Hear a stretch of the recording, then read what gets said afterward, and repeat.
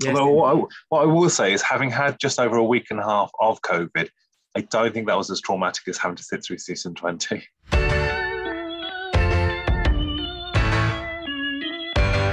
Hello and welcome to Talking About Who. Uh, we've gone from 20 to 2, 2 to 20. Look, I'm doing the actual Carole Ann Ford fluff from the pilot. Um, we are going to be doing season 20 um, in three, maybe four parts. It'll all be confirmed. Um, I am Paul or P-Bal. Like, subscribe, share, whatever kids do these days. And I'm joined by Hello, it's James. And hello, it's Jason. it's true that's a genuine fluff. She's talking about the, the the child position of the John Smith and the common men. It's like you wouldn't celebrate going from two to twenty, would you? Unlike us, we are very much celebrating going from two to twenty. Oh, we're loving this. Oh yeah, Um, so we kick off with Doctor Who and the Arc of Infinity. Um, I'm going to say actually, um, if, at some point during this you hear me hacking up, it's it's the outgoing of COVID. So so bear with, dear dear viewer. So it's, Um, it's not the quality of the stories at all. it, it's it's thoughts of the ergon making me churn. So who is introducing the arc with a with a C? Okay. On, I will It's, then. it's very it's very Gallic. I like I like I like I like that it's arc. Arc. Uh, so it's the return of Omega and Tegan, uh, which prompts a trip to Amsterdam and a discovery of traitor on Gallifrey. That's it. That's all I've got to say about the story, Jason.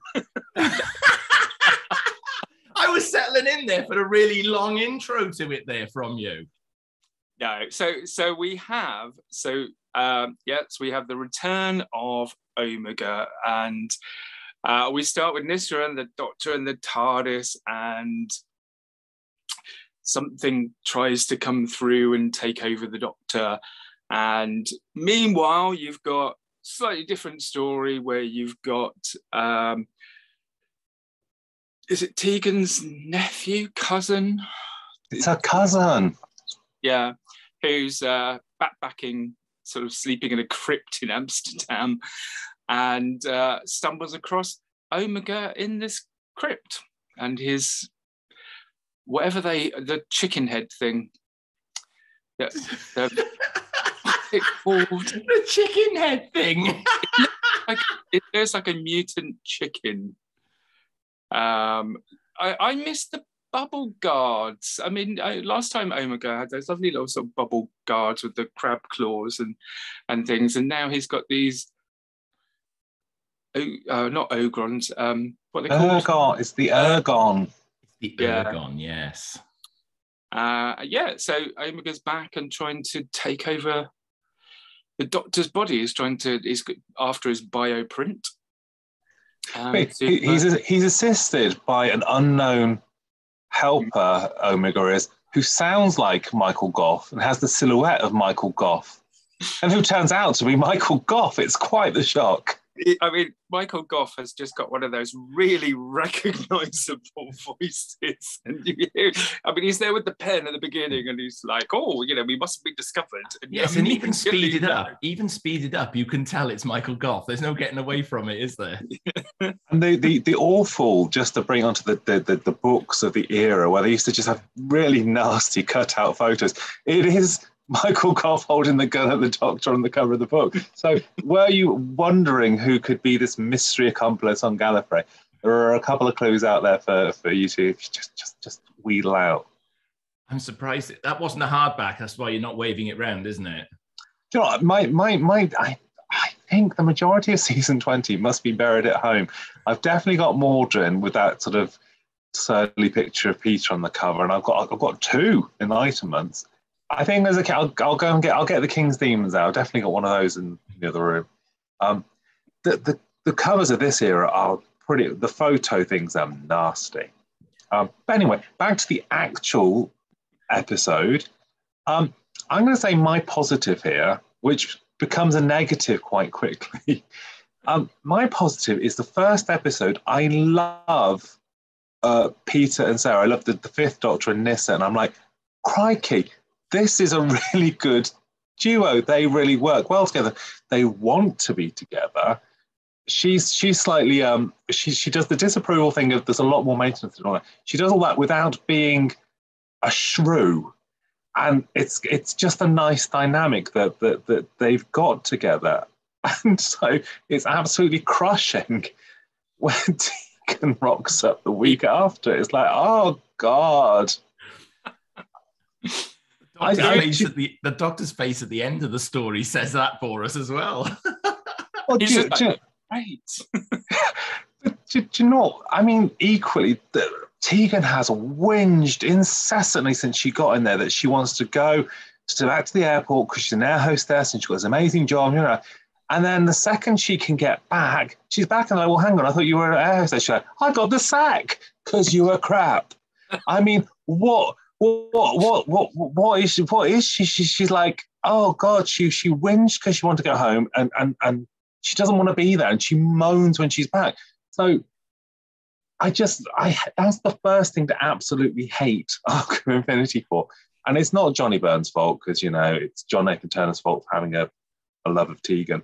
But oh gosh, if the rest of the story had just been Doctor Who and Nyssa, I, I think that would have helped. And Nyssa gets some lovely stuff to do in the bits where she tries to rescue him, and you know she's she's quite feisty and she's got a lot to do. And I just think, oh, we, This- we, this is what works. There's that lovely scene at the beginning where he fixes the scanner so it's got audio, but they're in space. it's just nothing to hear. He's just like, well, fix that. It's just like, well, if the audio was working, he could have got Tulips from Amsterdam played for him when they finally do get there. Because if we don't already know it's in Amsterdam, if we get that reinforced to us at least twice in the story as we go along. yeah, so it's But- in the so that's in the first episode, and then it's in the last episode, and that's what um Omega gets distracted by on the organ. It's tulips. But that, you're right. It's in the very first episode. You hear the music playing in the background. But it has to be in Amsterdam because it's below sea level, and that's how how Omega's machine works. So he didn't think I'll have an underwater basin. We thought, I think Amsterdam's quite picturesque. I don't know, bit of weed, a prostitute. I can I can have a good time here, and I can also steal the Doctor's body print. What what's what's to lose? It does feel a bit odd, though. I mean, this was this is another one of John Nathan Turner's likes of, and, and of doing, isn't it? By taking Doctor Who away for a bit of location filming abroad Mm. somewhere. What is the actual purpose of even having done it for this story, other than you know you could have you could have contrived that plot point for the Arc of Infinity around just about anywhere in all reality. So, did it really need to be Amsterdam? Did it really benefit from it? They probably just wanted a, an, you know, a weekend away. I, do you know? what I think I think actually I don't mind Doctor Who turning up because it is a bit strange that he usually ends up in London or the home counties. You know, he Hmm. very rarely pops the hull when it's being invaded. It's always London. Um, so I don't mind him going to Amsterdam. I think actually the, the, the, the clever thing to do is that it's just that he's gone to Amsterdam. The the the, the shoehorning of going. The reason is this. It's like oh, don't need to. Just it's just where he's landed. He hasn't got to invade London because it's close to television centre. Um, you just you just get Tegan in that sort of that that moment where she's wobbling around in the sort of space vortex where she goes Amsterdam. So that that's it. Yeah, yeah. It's not. It's not. It's not a highlight for anyone, is it? That when she's she's slopped back um, in the Matrix, isn't She she? is in the Matrix. Very dodgy effect Matrix as well. This time out, it's fair to say. Um, you know, season twenty. It's it's it's an anniversary season essentially. You know, I suppose on paper it seemed like a really good idea to to bring back Omega in into the story. Um, it just feels so disconnected from the Omega that we that we'd already previously encountered in the Three Doctors. I mean, the, the, the thing is with this with this whole season is, JNT has decided to try and shoehorn as much sort of um, flashbacks or callbacks to previous stories as he can. You know, the, we've got returning characters, which we'll talk about in other stories. There's there's little. Um, I think in this one you see Nyssa's dress from the Black Orchid. Um, you you get these sort of like callbacks to previous stories or um, mentions of, of other things, which is fine. But I must say, I didn't notice how many there were until I started this rewatch. And then when you realize that that's what's going on, it does feel a little bit forced. It's like, oh, we're just gonna just gonna call back to it to a story that none of the companions here are actually part of. Um, it, it, it's really odd. But it feels like they didn't. I don't know. It's missing something for me. I, I mean, obviously, Stephen Thorne's voice for the, the part of Omega, and obviously the, the stature of the of the actor as well. You know, back in the Three Doctors. Um, you know, we, we bumble along not knowing it's Omega for um, a couple of stories as it goes, um, for a couple of episodes, I should say. But I don't know. It just feels it. There's nothing that associates it or connects it with me, and it could just have been any any bad, big bad villain that week that, that was along for the ride in this story. There, there really isn't any connection there for me. I think it's. um I mean, JNT was kind of early door sort of master on the publicity and promo vibe, and I think it's quite a nice um, sort of tradition to say every single every single story this this season will contain something from the Doctor's past, and it's going to be amazing because celebrating 20 years of Doctor Who.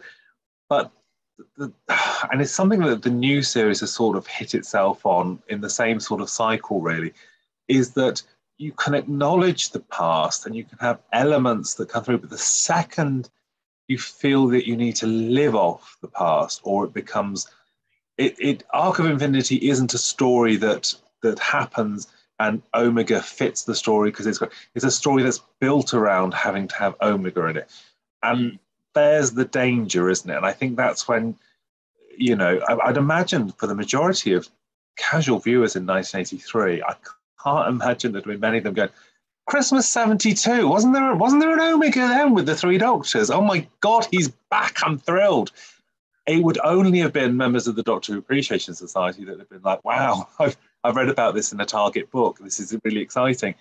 And that's when you you you have to, I think, the question where you're at as a producer. Are you making this as a show that works mm. for a general audience, or are you starting to go, I know it's got a fan base. What do the fan base want? You should never listen to the fan base. If, if the think... fan base want it, they'll write it themselves.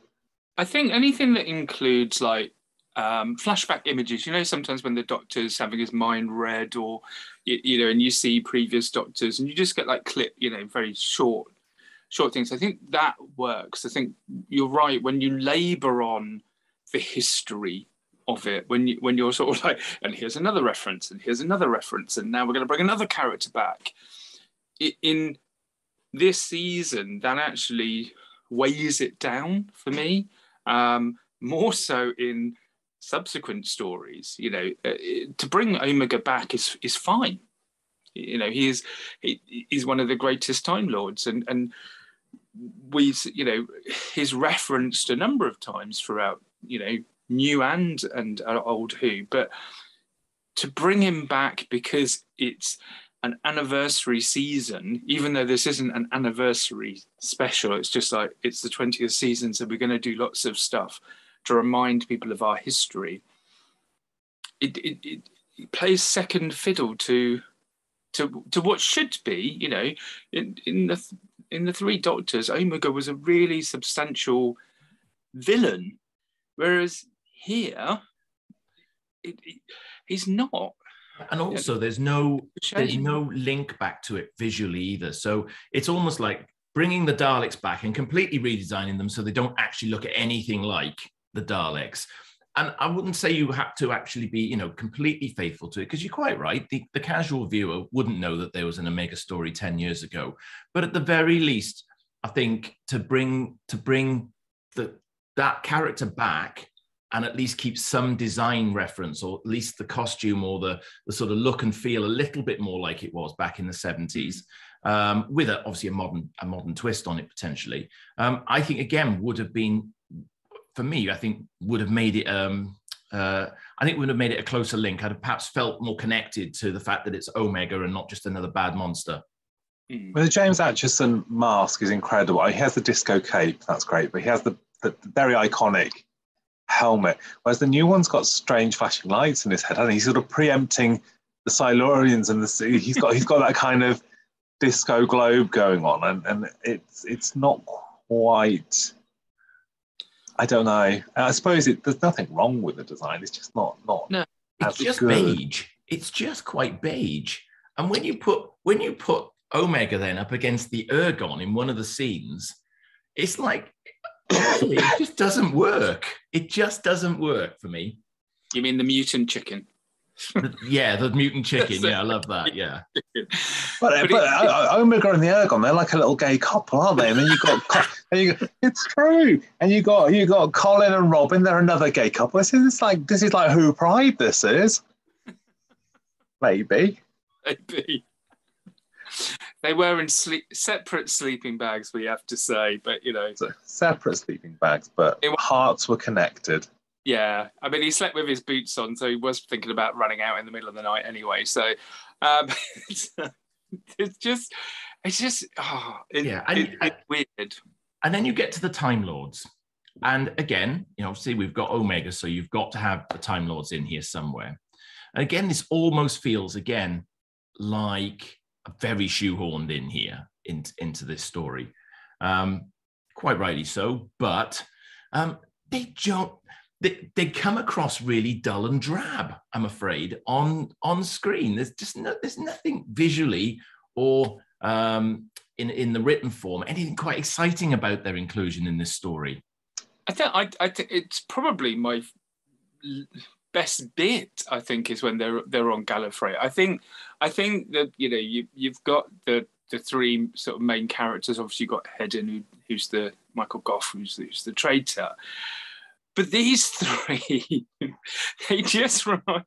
Um, uh, I was thinking back to uh, Keeper of Traken. You know, we got the three council, the, the, the council members who were all really inept and you're just like, who who on earth would replace the the keeper out of the three of them?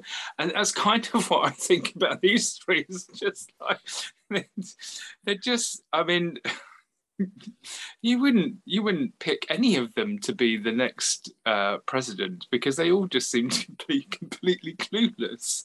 Yeah, I mean, there's some great actors in there. Elspeth Gray, mm. there's, there's some, you know, Leonard Sachs is a strange performance, but I mean, there's some great, great actors in there.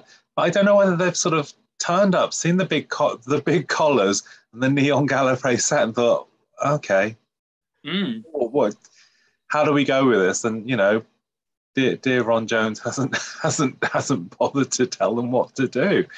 It, it's a really sort of I mean, it's funny because because Jericho is great because I think Paul Jericho is the Castellan. I think yeah. both turns he does, he gives incredible value to it, and, and he I think he lifts a lot off.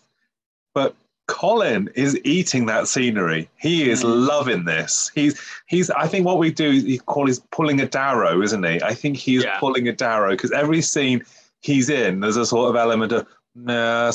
Mm, I mean, that's probably a bit more Kenneth Williams than Paul Darrow, but I think he, Colin is absolutely in any scene like, sorry guys, um, this this is this is my scene, isn't it? This is this is it, and it, it's funny. Yeah, he is.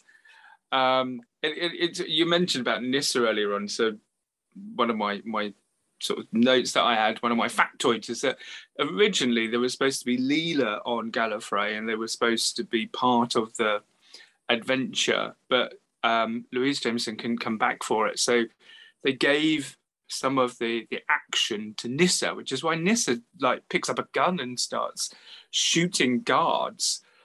Um, she's much more gung ho, but I actually quite like, you know, and, and considering what's going to happen to Nyssa and you know going forward, I actually quite like that version of Nyssa where she's quite manipulative. She's quite sort of like, you know, she just spent a lot of time sort of stomping her heels and, and going, I demand to speak to someone, and I don't, you know, but when she gets the gun out of the cabinet and she's like, right, you know, we're, we're going for it. I don't, I like that bit. I like how she sort of defends the doctor, and you've got the doctor sort of like saying, "No, I, you know, I, I need to, you know, need to be sacrificed to stop this from happening." Um, but yeah, it is. There is, a, I mean, there's there is a line from Hedin when he says, you know, every time the doctor comes back, you know we treat him like a you know like a like a prisoner and it's like yes every time he goes back to Gallifrey he is either shot at or arrested but yeah it just there's a, there's a couple of strange continuity because again it's I think you're making a continuity reference that sort of isn't helping anything and is probably drawing attention to a short so it's like I really must check up on my good friend Leela if she's still around somewhere. It's like, oh, yeah, she's, she's, she's on the south side of the planet this week. You might be able to see her. Um, and, and there's a, line, I think, I think um, Elspeth has a line of, oh, well, you were asked to bring Romana back. Yeah, like, Yeah, well, that, that, that was a storyline that went nowhere in season season 18. So thanks for bringing that back, love. I mean, I don't know. Continu- continuity is a thing you either you either rejoice in it or you you cringe with it. And I think there are those sort of clunks it fe- felt. If you said, "Oh, I must check my, my dear friend Leela because she I left her here," and then all of a sudden in she comes in the old chamois leather and says, "Whoa, doctor, I'm back." that's that's a thing, isn't it? But if it's just, yeah, she's she's she's she's gone fishing or something, it's kind of like, oh, I'm sure she'd have made the effort after all this time to maybe come and check out and see what you're doing. Hmm. yeah, agree. Um, the visualization of Gallifrey as well. It's too homely. It's too. It's too nice. It's sort of too. You know, if you look back to um, Deadly Assassin, you look back to um, Invasion of Time. You know, this feels very. It's just not very inspired in its design. I don't think either the the sets or or, or the sort of you know obviously you've got the you've got the typical neck collar the sort of you know the pieces Mm. around the back the head the head pieces there but other than that it's all a bit pedestrian in its design approach i feel well They've got um, inflatable chairs in the corridor and fountains and things. What do you want I think about? that it starts to look like a leisure centre exactly what i'm trying to say there i think Yeah, but surely, as as like one of the most you know intelligent, sophisticated races of the whole galaxy, you haven't got to paint it all black like an emo. You can have nice things in corridors where you sit down and give people biodata printouts when they pass by and stuff. oh dear Yeah, I, d- it's funny because I, I can remember like having this on video, and I'd have been, I'd have been, I'd have been a younger kid then. I'd have been 14, something like that. I, think I actually quite liked Arc of Infinity. yeah I think when I was younger. yeah i agree. I think did in my, my my surly middle age, I just look at it now and find it a bit tiresome. Uh, and and it's just because there's not a lot of depth to it, and and and, and there's not a lot of cohesion. Um, I mean, episode four basically just breaks down into um, we've saved up the filming allowance to go around Amsterdam. Let's have a run around the, the streets because we don't have to bother about dialogue and stuff. We can just run Yeah. up and down and show it off a bit. just a lot of standing on bridges going he's over there and then hearing someone scream and then peter davison with various bits of like green cornflakes stuck to his face you know as he as he and then the ultimate demise of omega is so is so over and done with in like 10 seconds it's like oh there you go then Beep, and you're gone that's it I mean, were I an indiscreet sort of person, I'd say it's quite funny because we've had a lot of people that have come to events that are in this story. Apart from, there are two notable exceptions that I'm going to mention. Maya, who is the receptionist, who was, can you point to it on the map? Oh, that, yeah, her. She wanted a massive old fee to come to an event. I was like, seriously, you receptionist in Arc of Infinity. I'm not sure. I'm not sure you're at Jodie Whittaker levels yet, love. I don't know. Um, and um, sadly, um, Neil uh, Neil Daglish, he, he I spoke for quite a while about coming to an event, and he's he basically just said, you know what? I think it's the worst performance I've given in any production ever, and I would rather not remember it at all. And I find that a little bit sad because I actually quite like Damon in this. I think I think I like Damon. I think he's a good foil for Nyssa within it. So I felt he sort of done himself he has a good relationship with nyssa doesn't he they're they're quite sort of scheming trying to get the doctor free Yeah, I, I feel he, he did himself a disservice with that, but he, he, wouldn't, he wouldn't be swayed. He thought he'd done a bad a bad thing. And you know, I don't think it was that bad. I agree with you. I think it was actually one of the one of the one of the good performances in there. I think all the guest cast, in all fairness, you know, there's there's quite a, a number of names in here. Um, I don't think anyone really gives a, a bad performance in this one. I don't think.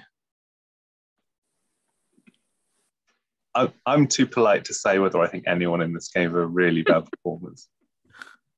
I'm saying nothing. I think it's sad that that Michael Gough's character Hedin ends up being killed off. Mm.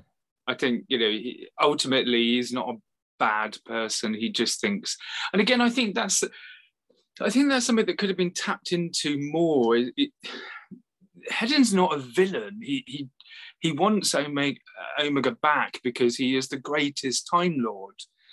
You know, he he he want he's got loyalty to him, and he just gets killed off. You know, he, he saves the Doctor from um, you know from his next regeneration essentially.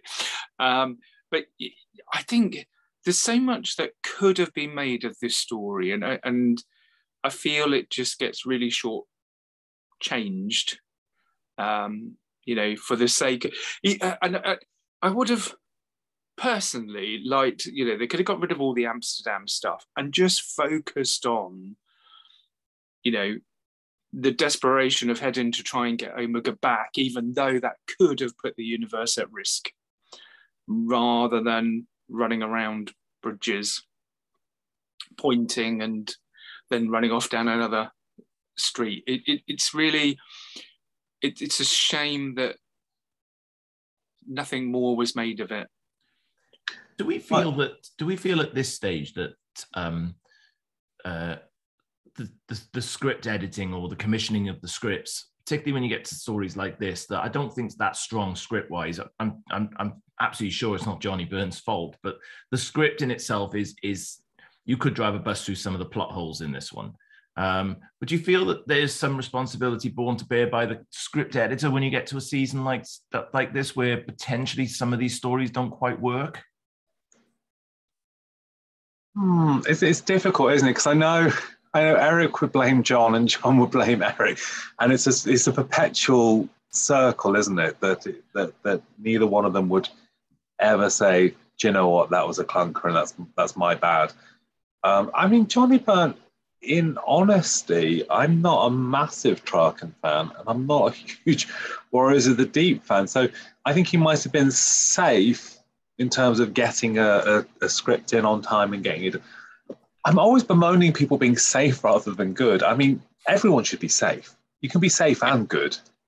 It's a little less if you're at home, kids. um, but I don't know whether Johnny Byrne as as a as a entity. I mean, Heartbeat was his, wasn't it? Look how many years that ran. That was very safe and dependable, folks. Um, I don't know to what extent he was a, an easy commission because of, of, of, being able to do it. Mm. Well, because Who, I think, especially in, into this point, because I know there was a lot of argument, wasn't there, that, that John didn't want writers that had done it before he was producer. He didn't like having David Fisher on 18 and all, he didn't want people that had been with an older regime. And it took a lot of sort of swaying to get Robert Holmes and things like that because he felt he should be moving forward.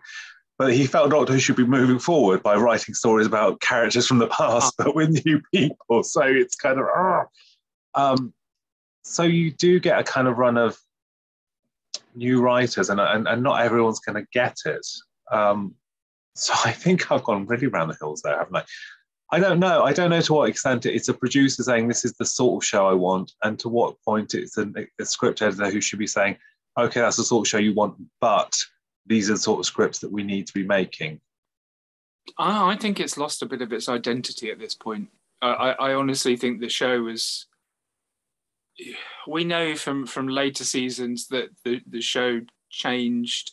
You know, they they played around with the format. They they especially when you start looking at you know by the time you get to to Sylve, you know there's there's a lot you know it's very different to what it is what it is here, and it's gone through lots of different sort of evolutions. But I, I feel at this point, it's it's it's a little bit lost its way, and uh, the next season I feel is is stronger, but this just feels like it's it feels indulgent. I think that's the word I'm going to use. It feels like you know they've got all of the they've they've gone to a panel of who fans and just said right we're going to do a bit of a special season what do you think we should have and, and this episode has all you know I, I, think i've explained this on a previous recording. When i was collecting the vhs the ones i would always go for are the ones that had scenes inside the tardis because they that wasn't all the time. The one that had a companion leaving or or coming on board and ones that had gallifrey on them. And this ticks all those boxes. So this you know this this story a bit like yourself i watched a lot of times when i was younger now I watch it and I'm like, hmm, okay, that's that's that's a story. Um, and, and, although it ticks all those boxes for all the th- different things, it's not a very triumphant return to Gallifrey.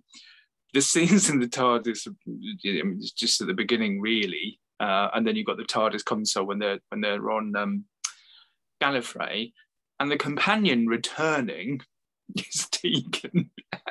the doctor, even the doctor's not chuffed with that at the end of the story. So you're kind of like, has it ticked any boxes? And maybe I am being a bit harsh, but no, I'll agree with you. I think this was one I would I would have watched. I watched it. I, this is a season I would have watched on on first transmission. I've gone back and revisited a couple of the stories over the years this is the first time I've sat down and actually probably watched season 20 in, in a while, I would say. Um, and it's interesting. I, I always thought of Arc of Infinity for me when I watched it. Yeah, you know, great, we've got Omega back, we've got the Time Lords. I'm a bit like you on that one, James. You know, nods to the past for me were always great things to have in Doctor Who at that time. Um, because of course we didn't really have access to, to the past history of Doctor Who. So it was kind of nice to have these little nods. And you know, 13 year old me probably did enjoy Omega at the time. But I've got to say, like you, going back and rewatching it and, re, re, reevaluating this entire season, as we will do over the course of the next few videos, um, it is interesting how I think some of my perception of it has now changed. I've, I've just having just glanced down at the. I've I've actually aged myself. I was only eleven when this came out on video. anyone who's worried about that at home. Um, so I think, um, actually, I'm allowed to, before we go to the scoring, I think um, Hedin when he gets shot and falls down, it's a bit like Jason after three pints in the bay. There's a, there's a flail there that's quite funny. I'm saying nothing. Uh, Me where I'm saying nothing. Doing a head in that is doing our head in. Anyway, right. So, do we have any exciting facts before we go to scoring? I, I can't. I can't uh, miss the black, the dark they, web. To try and disguise the fact that Omega was back, um, it was it, he was listed as the renegade in the Radio Times to try and it's a good old JNT trick to try and uh, to try and cover that up. Uh, the only other thing I had was um, in the casting of Maxil, um, Maxil uh, Pierce Brosnan was was one of the, the names in the in the frame for that, but the floor manager, assistant floor manager Lynn Richards, had seen Colin in Blake Seven and recommended him for for that role. So there we go. That was it. I'm just thinking how bloody difficult it'd be to get an autograph off Pierce Brosnan on, a, on an Arc of Infinity cover. That's that.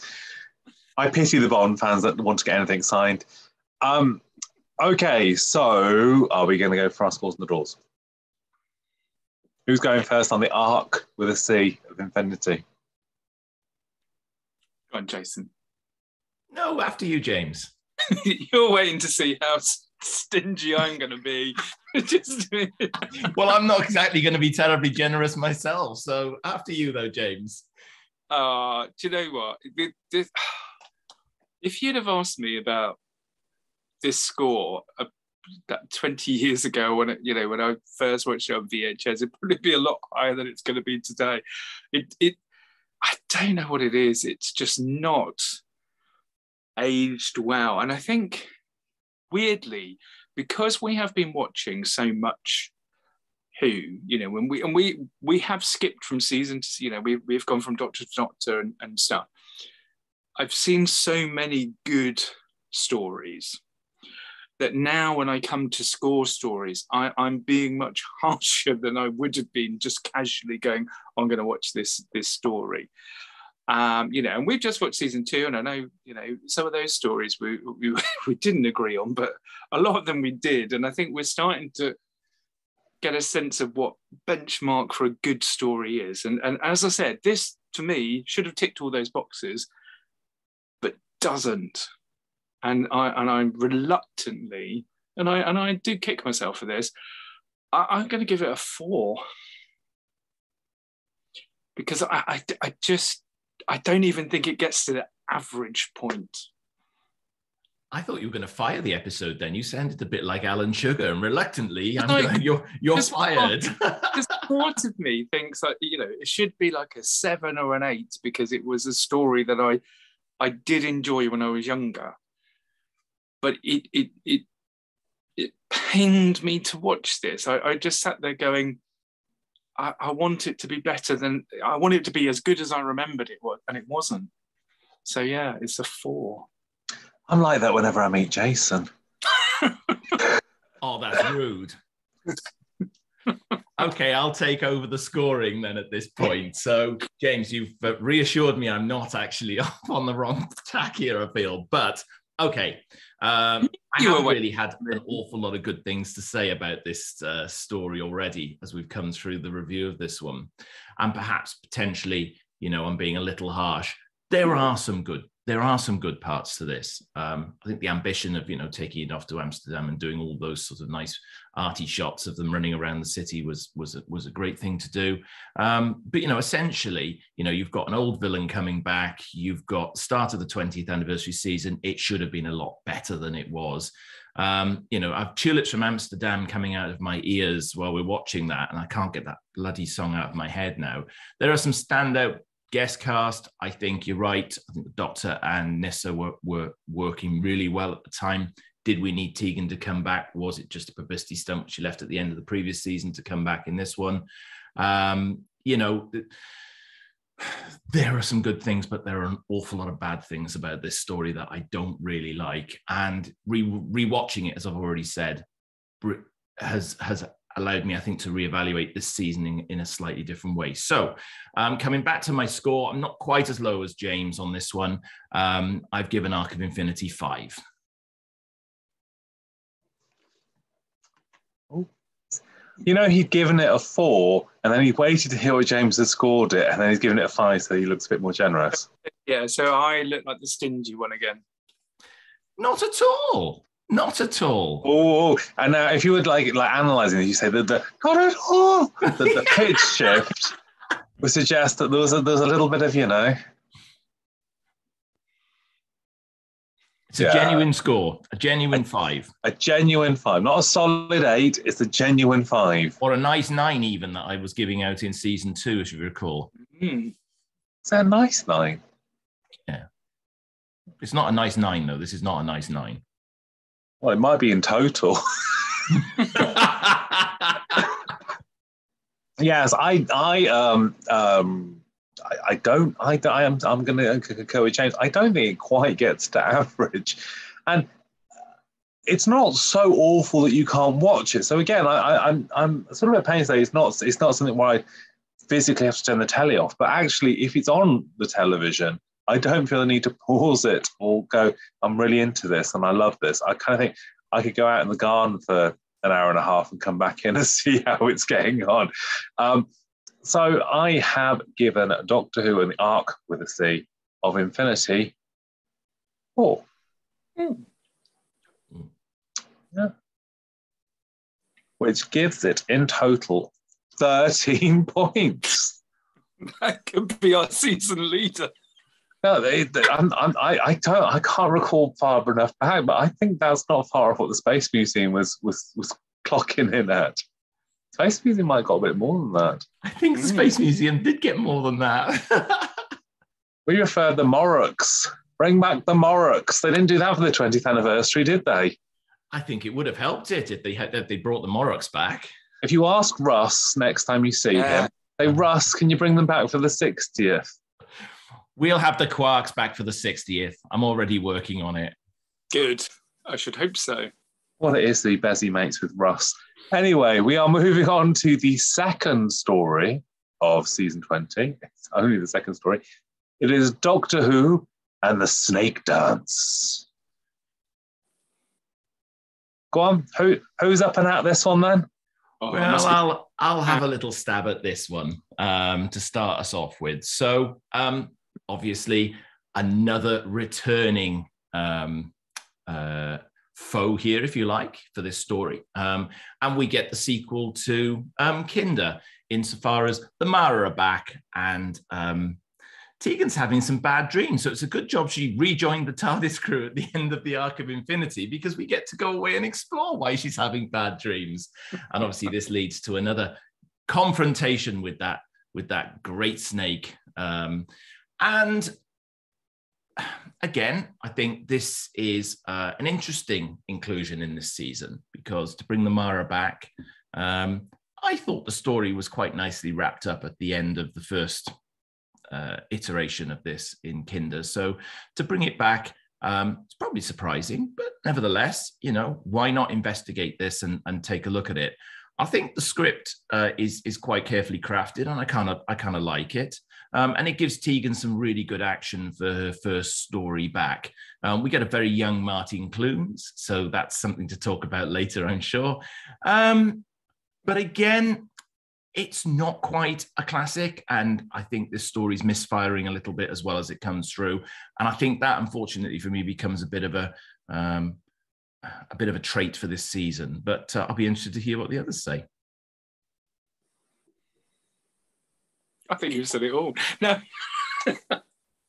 no, it is, it is, it is convenient that uh, that Tegan is back just as she's having these bad nightmares, and uh, and we get the sequel to Kinda that everybody wanted. You know, I remember thinking, sitting there going, "That's the sequel I wanted. I wanted the snake back." Uh, this time without the uh, you know animatronic old lady, but um, so we get Martin Clunes instead. In Mary day- Morris was like, I can't do it, lovey. I can't do it. I'm busy. Got summer season. she got Um, Fraggle Rock. She was like, I can't come back. Jim Henson wants me to do something else. what I love when I was researching this is that Martin Clunes doesn't like to talk about it because it used to be the the one that they would always show the clip of him looking really camp with the earring or the you know the headdress on. Whenever he went on a talk show, they would go, "Oh, do you remember when your first acting role is in Doctor Who?" And he's just "Oh, no." I wouldn't mind, but I've been watching No Place Like Home on Forces TV. He should be much more ashamed of that, to be brutally frank. I, I think you're right. I mean, this this is. I mean, you know, this is Janet's big moment, isn't it? Because the rest of the cast kind of take a, a, seat while she becomes possessed by by the Mara again, and you know, lots of overacting panto villain style, you know, with the snake in her hand and things. And I think, in some respects, that's it's quite nice to see her have that. You know, to see her uh, take take center stage. You know, now she's she's back. But we just saw in the previous episode, we just saw a much stronger Nyssa. We saw a much better relationship with the uh, with the Doctor. And now Tegan's black. She's like, you know, the doc blocker, really, isn't she? She's just like, I am going to look at Jason's face. you know, here's a perfectly nice relationship. I'm just going to slap bang in the middle of it. Um, and and and really, it's quite sad to see that happen. I mean, I know the Doctor and Nyssa are kind of, you know, together during this and spend quite a lot of time in prison you know, um, or or the doctor's sort of meditating with a little crystal, and it, and again, this has got quite a good cast as well. Know, I quite like some of the other characters, but it it it just kind of meanders its way, and and and they were going to I mean, I, um, the writer, I've got it written, Christopher Bailey, isn't it? He he was commissioned to do a third story, which which you know didn't get onto the TV series. So there, there was a plan for a for a trilogy. But like you say, at the, the end of the first one, it was kind of like done and dusted. It was Monster of the Week. It's been defeated by mirrors, and, and you know, and, and now we have the snake back. And there's that whole scene where um, Tegan is in front of the mirror laughing at it because you know it's more powerful this time round. And so, yeah, it is. I don't know. I, I, I mean, you will recall I loved Kinda. I gave Kinda a 10 when we did the scoring because I, I love all the obscure references and things like that. But I, I, I feel here, a bit like the previous story, we're, we're just doing a sequel for the sake of doing a sequel. It is, you know, 20th season, we want lots of callbacks. What was a really good, you know, unusual story? Kinda, oh, you know, we got Tegan back. Let's do another Mara story. So I, I think the interesting thing I would take from what they sh- what I think would have been better with Snake Dance is that Kinda um, Nyssa has off basically, doesn't she? Because she needs the, yeah. the two weeks of the contract, but she sleeps through Kinda. So if the Mara had escaped by any means from that story, if he'd have escaped in Nyssa's dreaming, yeah, Nyssa was the one that was taken over in this story. It would have been so much more impactful. And I, it comes back to the, the problem the problem I have with Kinda itself is that Tegan is so aggressive and unlikable. If she's possessed by something that makes her nasty, she just becomes nasty, aggressive, and unlikable. There isn't a shift in her character that that makes her any different to how she is regularly. It just means she's, you know, actually killing people rather than just staring at them. Whereas if Nyssa, who's meant to be like from this pacifist kind of culture of, of harmony, you know, Truk is this harmonious, beautiful sort of place. If her character suddenly went red-eyed and started killing people and laughing, that's such a U-turn on what she is. Tegan is is is unpleasant and and and she's just more unpleasant with it. So I just kind of think the, the shift isn't isn't a big enough twist on it. And, and I think that's where it fails for me. She can obviously do the nasty part, but it's it's not it's not a big enough contrast to what she is normally, you know. Especially as Nyssa was more sort of gung ho in the last story, you could have fed that into this that she's slowly starting to succumb to the Mara and her subconscious and. the problem is though the problem is, though, James. Sorry to cut across there. Um, no, the, pro- the, problem there is, though, that that wasn't necessarily, as you said uh, in your review of the last story, wasn't actually technically written for them potentially, and that that necessarily isn't a strand that they were heading down this season because you know essentially we're, we're moving towards, uh, without giving any spoilers here, we're moving towards um, her leaving the series. So. Um, I'm not entirely convinced that there was a global grand plan, but I actually love that that, that concept you've come up with there, P-Bal, that if you had done it in that way, I think you're right, it would have had so much more impact. You could have built it up over a few episodes. Whereas really, we're presented with it from the get go, right in the first scene. Oh, I'm yeah. having bad dreams. And, you know, and it pretty much it's there. And we're, and we're, we're then trying to do something about it. And somehow, you know, Tegan has managed to manipulate the controls um, by giving the doctor the coordinates to land right in the middle of where she needs to be. It all just feels very um, manufactured. I like the idea that just you know a personal stereo is going to uh, keep Mara away. It's just like it's, it's like listening to it at the gym and you take it off and you can hear what they're actually playing in there, and it's like oh my mind. I think I think it's the same sort of setup, but it, it does that that's one of those sort of cheap things. And I think this slightly hits that thing we we find often with a a studio story, isn't it? Where it it it does all kind of look like the local Amdram set, doesn't it? It's all kind of flat. The, the the film stuff looks beautiful, as as is ever the way with the Doctor Who. When you get the filmed bits at Ealing and the real Snake that looks gorgeous. Um, the, the sets look as if they maybe spent money on an extra night in Amsterdam and Yeah, really feel that slack. way. Yeah, I agree. And I think if you if you look, I mean, obviously, again, we're being picky about the sets here, but you know, you've got an awful lot of rock and stone there. But unfortunately, there's steps, wooden steps leading up to all of it, and you can't hide that uh, very easily when you're filming in studio in that way. So you're right. I think it feels a little bit um, claustrophobic almost. I mean, some of the the, um, market scenes work quite well in studio, but I think it's when you get into caves and and you know uh, it's obviously wood um, and it isn't working that well because unfortunately the actors are not able to walk that quietly up those stairs that are supposed to be stone carved. I mean, having had great caves in Earthshock, it can be done. It's it's not like it, it's it's it's a, a, an impossibility. It's it's.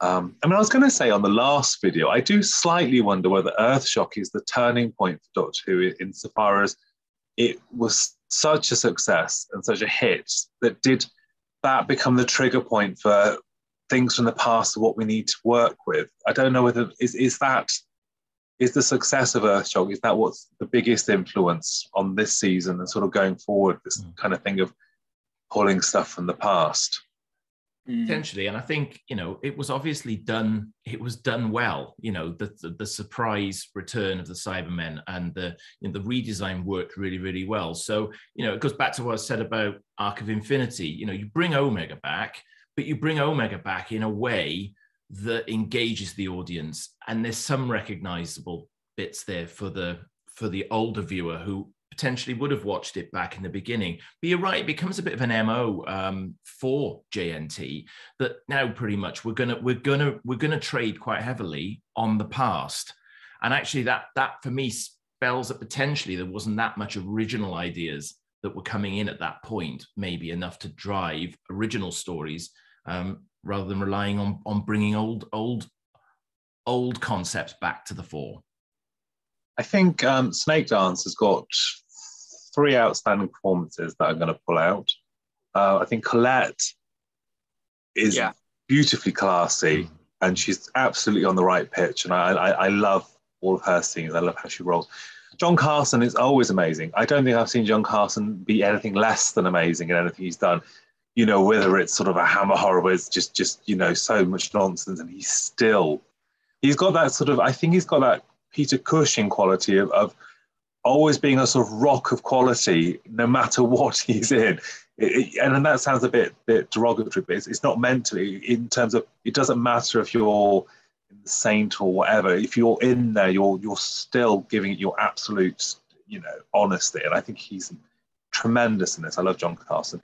And Brian Miller, who, who has quite a thankless part to some extent, but he's, he's, he does such a great turn with it. And there's, there's lots of light and shade to it. And, and it's quite a horrible ending for him. Um, so I really, I really think he, he's got, a, he does a great turn. And I think sort of un, un, un, unspoken. I don't think people necessarily pull him out because there is, I think people always do. It's Jonathan Morrison bread and Martin Clunes has got earrings, and I think that's probably what where people go straight away with these things. But I think, I think, um, yeah, Brian Miller, I think needs a, a bigger shout out for, yeah. for his turn. Funny enough, I wrote the, the same three names down because I feel exactly the same.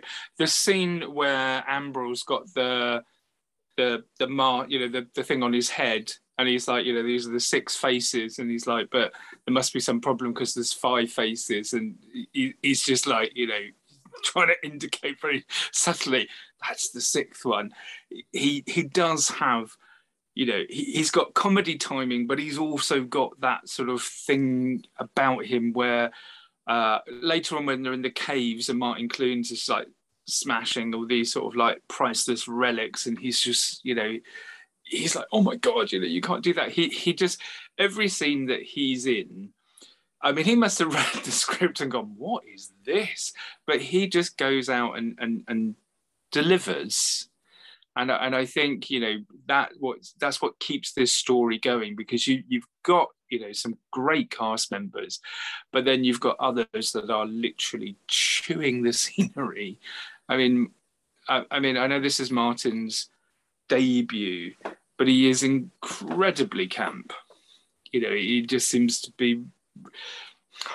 you know, and he is he is a good actor. I've seen him in stuff, and I really enjoy him. But he, here he looks like he's just come out of theatre school, and you know, and he and, and in his head he's still got his, you know, his theatre studies, you know, teacher going, just give it large, darling, go go go large like this, and he's just like, you know, I've got to, I've got to camp it up, um, you know, just dial it up to ten for this show.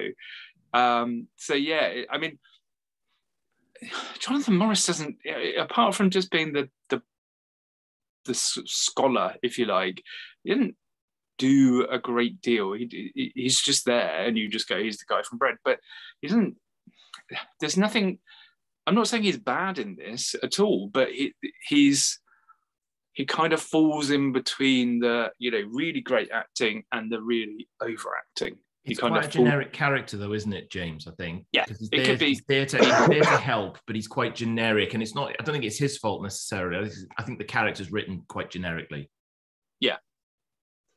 I think one of my favourite points actually is it, it, it, actually you get a little bit, don't you? Where um, where where the doctor helps Nyssa down, and she goes, "Quite unnecessary." I think that's yeah. one of my favourite parts in the whole story, and and Jonathan Morris is there for that. That's what me think that. He's he's he's there for that. Just just just go. But um, yeah, it, it he it's a slightly thankless part. I think I agree. It, it there's not lovely curly hair though. I mean, I, I love those. Oh yeah, those locks. Um, and he's also there for the cliffhanger. Nyssa gives like literally. I mean, I don't think she's she does it before or after, but she gives the biggest badass scream when they're about to get killed when they when they when they draw the swords out. I don't know. I don't know whether they just told her that, that terminus and she's off, but there's a right old scream there, and, and that that that's one of those sort of you know, proper end of episode belts that you don't get very often. She even gets a new outfit for this uh, this story, doesn't she? It's the start of her changing outfit several times during this yeah. season. So she has it's, the like, additional Traken brown on for Arc of Infinity, and then we're into a new. And she's and she's desperately wanting the Doctor to see this new outfit at the beginning of the story as well, and he's not really paying any attention, no. which is a little bit of comedy timing um, there. I think Peter was quite was did an interview where he said all the you know a lot of the costumes are awful in this. Uh, I mean, Martin Clunes, you know, when they do the ceremony and he's dressed up like the the sun god or whatever it is.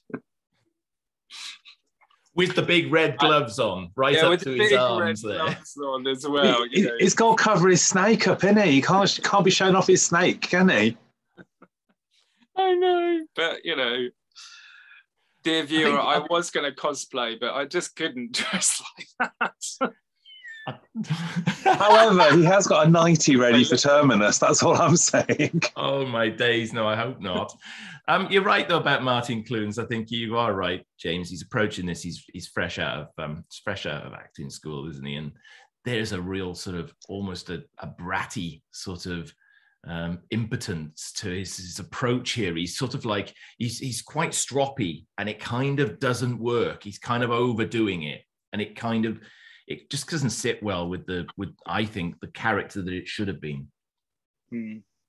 I don't. I, I, quite like it. I think he. I think he's he's he's he, possibly a little over, but I think I think he's he works. I think I think it's it's, it's well counterpointed by Colette being very yeah. sort of purring and very very understated. I think I think that helps. So I think I think I think he, it works. He is meant he is meant to be an, a brat and unlikable and all that stuff. So I think he's it's a stroppy stroppy teenager, isn't he? He's... Yeah, I think I think I think I think, he, I think he does all right. He yeah, hopefully got some other stuff afterwards. I think. I agree about the interplay between them both, though. I think on screen they work really well together. So, do we have any exotic facts on Doctor Who and the Dance of the Snake? So, um, that yeah, we're talking about callbacks to previous seasons. So there was a reminder that uh, the sonic screwdriver was destroyed during the visitation.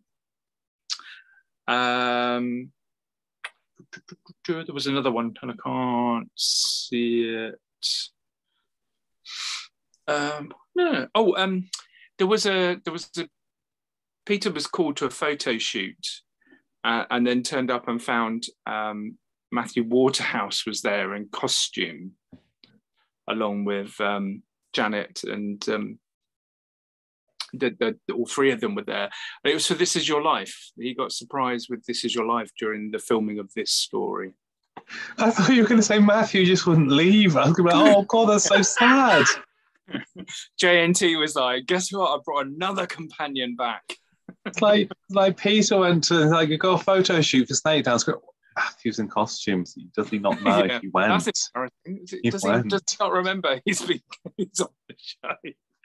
Uh, but that that was that was it. Oh, the production overran. So there, there, so the scene in the next story where the doctor is comforting Tegan was actually filmed at the back end of this story, but they had to cut it because they were over. That's it. Right. That dark web is delivering today, isn't it? Yeah. Oh, that, that was shady, Clifford. That was shady. No, I love it. I love this segment of the of the uh, of the installments. Look at him giggling away. Honestly, he just needs a fan, doesn't he? Right. I think it's I, I, think it's time for some scores for the snake dance. I do. yes, indeed, it is time for some scores, and uh, uh, so as it doesn't look like I'm uh, parroting your scores there, James, I'll, I'll fly first on this one. So um, it's not. Um... I'll, just, I'll, just, give it one point higher than Jason. I don't care what he scores now. I'm just going to go up. what I, you won't be able to if I give it a 10, James. Go on, I dare you. but it's very unlikely I'm giving it a 10. So let's be totally honest here. Um, okay, so the, the, we, we continue the trend as we come into this one. I think there are some good points um, to be had in this story. Um, I agree and think the same myself. Did Kinda really need a sequel? And this feels like we're just rehashing some some old ideas here, just because again it's the 20th anniversary season, and we want to hark back and do some things to bring back um, previous encounters that the Doctor might have had. So um, I, I think it's not as good as Kinda. I'll be perfectly honest. I think I scored Kinda seven. I think when we when we did that review, um, and Kinda wasn't That's a favorite. Kinda wasn't a favorite of mine the first season anyway. So um, uh, so you know this one was going to have to work quite hard. Um, rewatching it again, it's not one I've watched recently. Um, I think it's a little bit. Um, it's a little bit restricted by the studio. I think the sets aren't particularly good. I think there are some good performances, and you've highlighted all of those through the course of this.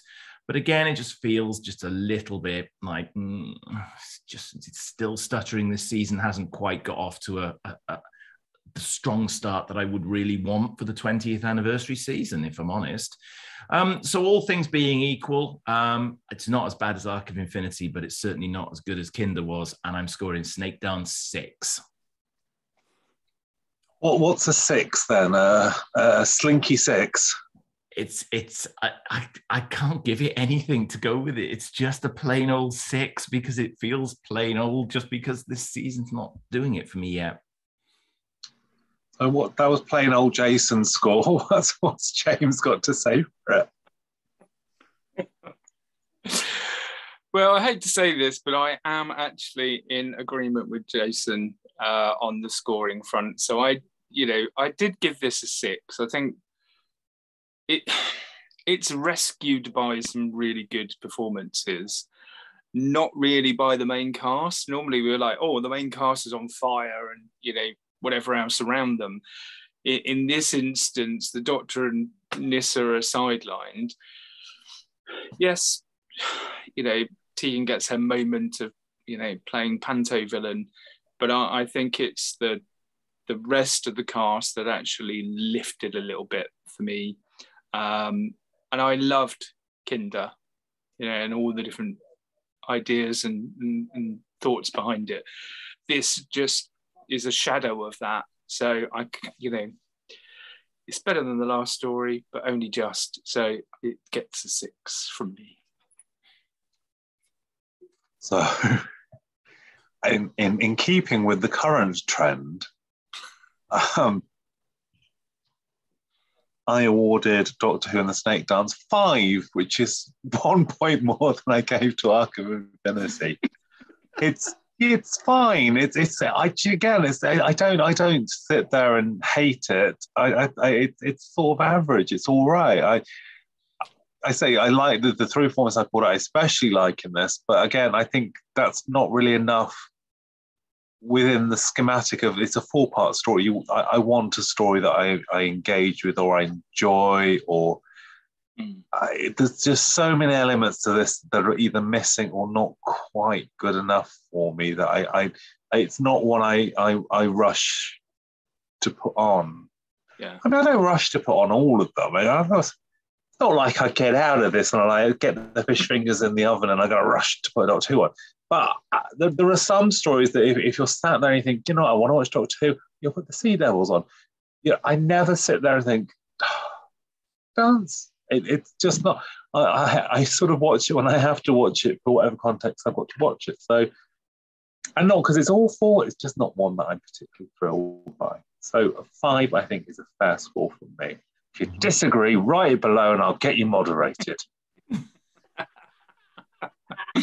I'm joking. That's not that's that's not a true thing. That's what Jason does. I don't. Jason just asks for phone numbers in the comments below. Oh, that's just rude. hashtag hashtag tragic tragic um, which gives Snakedance. It, it's our season leader because it's now got 17 points.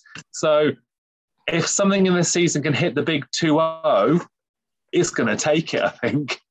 Um, well, anyway, that was the, that's the end of part one of season 20. Um, so thank you very much, guys. Pleasure, as always. Thank you. Yes, great. So you could join the um, the Three Faces of Delusion again for part two. So like, subscribe,